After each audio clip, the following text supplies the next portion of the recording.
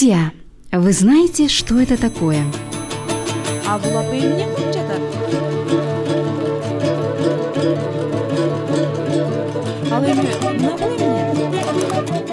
Друзья, это обычная овечья шерсть. Кыргызский народ издревле всегда и везде использовал шерсть. Из овечьей шерсти делается войлок. Сначала овечья шерсть расчесывается вручную вот так. После расчесывания из шерсти делали вот такие разные и красивые шердаки и алагиизы.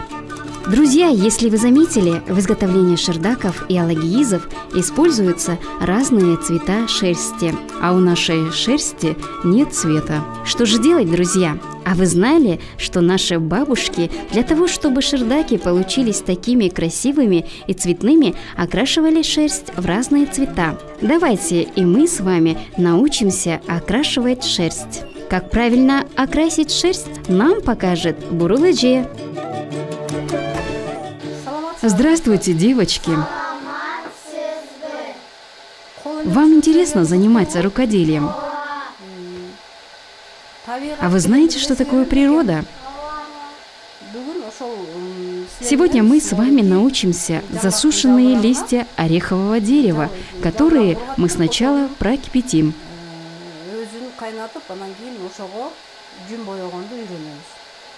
Вы же видели вот такие листья ореха.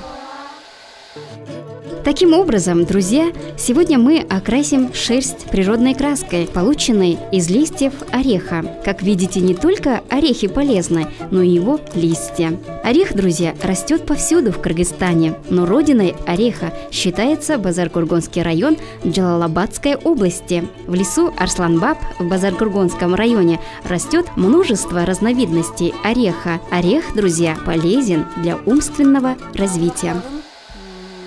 Для окрашивания шерсти листья нужно собрать весной, когда они только начинают свой рост, снизу вверх.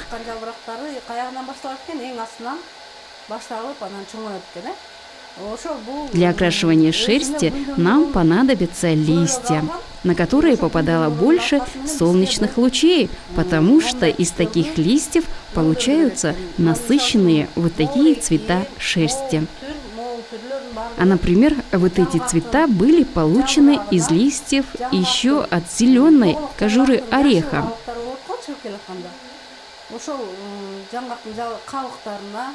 анан кийин э, турган түрдүү жүндөрдүн баары ошо жаңгакка боелгон А вот эта шерсть окрашена краской, полученной их шелухи лука. Мы уже познакомились с листьями ореха. Их надо сначала высушить, затем сушеные листья надо измельчить. Измельченные листья кладем на ткань, завязываем в узелок, как это делали раньше наши предки. Можно в узелок завязать или можно положить специально сшитый мешок, который надо поместить в кипящую воду. Мы завязываем траву в ткань, чтобы она не превратила нашу воду в кашу, когда будет кипеть. Сейчас вы увидите, в воде появится другой цвет. В нем мы будем окрашивать шерсть.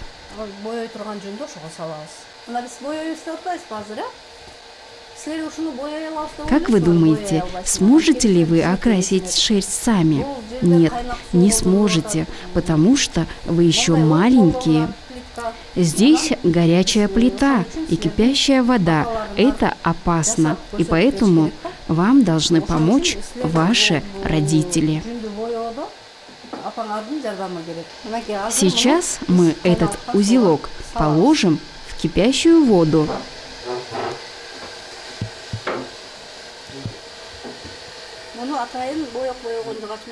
Специальной деревянной палкой окунаем узелок.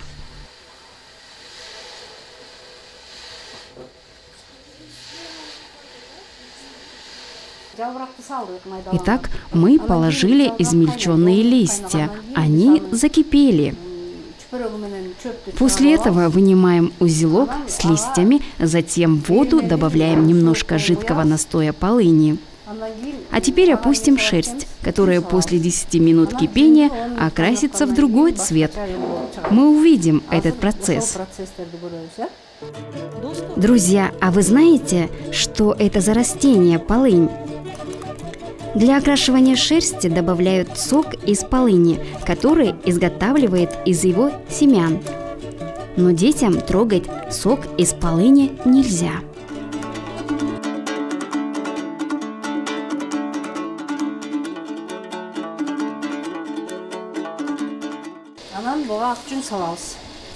Теперь положим в воду кылып, белую шерсть. Мы ее должны сначала встряхнуть, потом собрать и положить в ведро и быстро окунуть в воду для того, чтобы получить равномерный биз цвет. муну тезирээк тезирээктен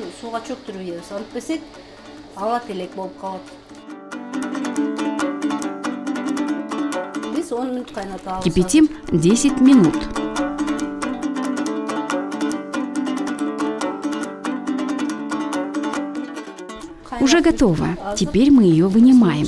Сейчас я вам покажу. Был ведь цвет белый, а теперь какой стал? Смотрите, какой цвет шерсти получился.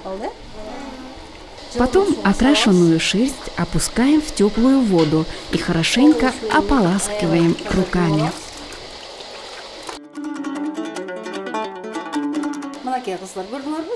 Видите, девочки, какой приятный цвет получился. Если анда покипятить еще 10 минут, то получится вот такой темный цвет. Но чтобы жеңил, получить вот такой теплый и приятный цвет, мы кипятили не так долго.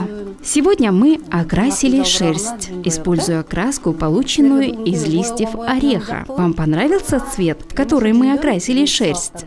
Теперь на следующих уроках из этой шерсти мы будем делать разные вещи, например, бусы или картины. или картины панно. Сегодняшний урок был успешный. До свидания. Ну вот, друзья, сегодня мы окрасили шерсть в краски из листьев ореха и получили вот такой цвет.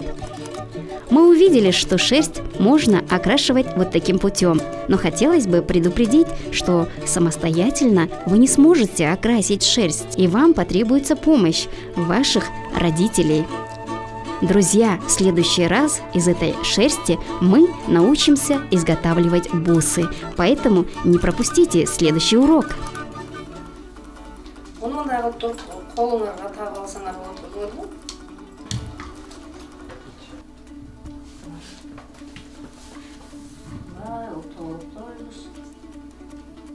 азыр ар бириңер ушундайдан бирден жасайсыңар. Мындай тыксыраак болчу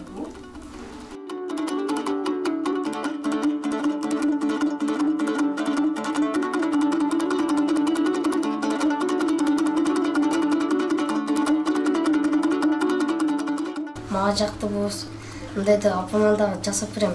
Сата